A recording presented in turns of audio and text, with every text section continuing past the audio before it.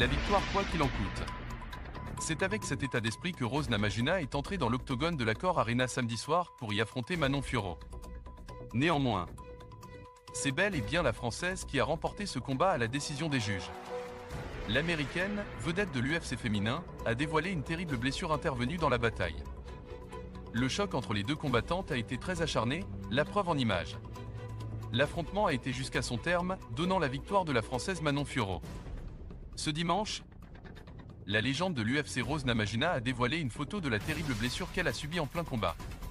Selon Ariel Elwani, la blessure au petit doigt, visible ci-dessous, serait arrivée lors du premier round.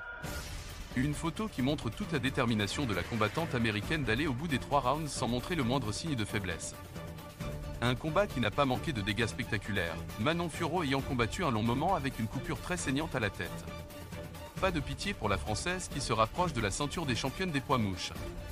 Après cette victoire, Manon Fiorot totalise 11 victoires consécutives et s'offre la quasi-certitude de pouvoir concourir pour le titre à court terme.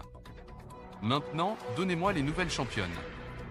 Alexa Grasso, Valentina Shevchenko, c'est mon tour, a entonné la niçoise devant une accord arena pleine à craquer.